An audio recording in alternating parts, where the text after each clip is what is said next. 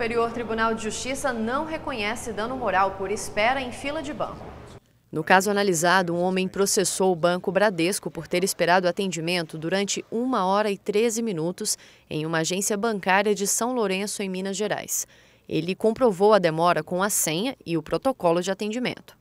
O homem solicitou o pagamento de indenização por danos morais, alegando o descumprimento de uma lei municipal que estabelece como tempo razoável para a espera de atendimento 20 minutos em dias úteis e 30 minutos em casos específicos descritos na norma. O Tribunal de Justiça de Minas Gerais considerou o fato como um mero aborrecimento diário e um desgaste normal em situações dessa natureza, mas o homem recorreu ao STJ.